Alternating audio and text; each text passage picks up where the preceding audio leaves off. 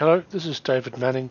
This is a quick tip that we extracted from the May Plant 3D Community Meetup on licensing and access for Plant 3D collaboration with BIM 360 Docs. Just touch on it. So, you're talking about single user subscriber licenses.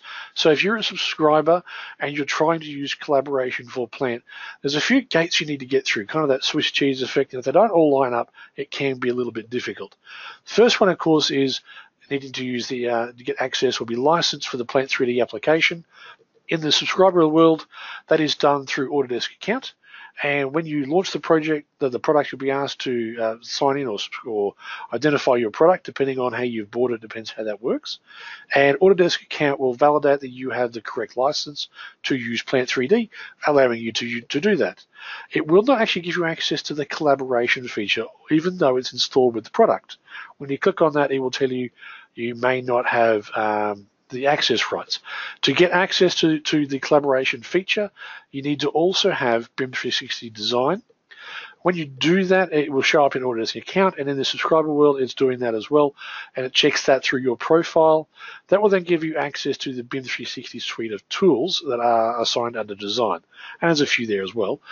You can use Desktop Connector to access the, the project and it gives you access to the uh, the Docs space as well. But it's worth noting that necessary Plant 3D is accessing a folder inside your BIM 360 docs uh, folder structure. So docs is entitled under BIM 360 design for the purpose of collaboration.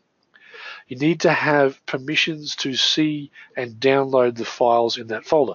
Easiest way to do that is to get in the web browser and make sure you can see the project XML in the folders. If you can't see it, then you certainly can't open it in Plant 3D. Once you've got that, Swiss cheese all lines up and you should have no problems getting your project to work in a collaboration environment. In the multi-user environment, it is often slightly different, and we're talking about here using server-based licensing. Uh, it uses a network license server to issue licenses to users. And in that case, what we're looking at here, the real difference is this first step where we log into, we, we're on the WAN or the LAN or the VPN for our enterprise. And uh, we when we start our Plant 3D, it's when you first launch it, it gets licensed or it's done part of the deployment to uh, the licensed server that you're required to access. That gives you the ability to use the application and then when you then go to try to use the collaboration feature, it's going to want to go out and validate that with Autodesk account. Okay, so there's two separate systems there, the corporate license and the Autodesk account, which is does go back to your corporate license, but it is entitled through your Autodesk profile. Now, you may not have done it to start with, but at this point you'll be asked to sign in. Again, top right hand corner of the product, you'll see a sign into Autodesk services.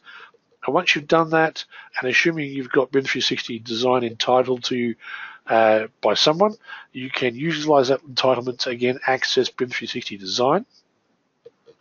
And again, finally, if you do, as long as you've got access to the project folder, so the Plant 3D can find that project XML, then you will have access to your collaboration projects and can work without any problems.